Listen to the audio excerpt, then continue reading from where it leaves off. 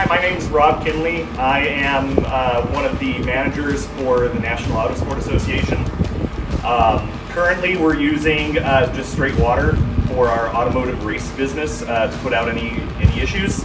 Uh, is an amazing product. Um, it's going to revolutionize the industry and revolutionize the way we fight both car and grass fires.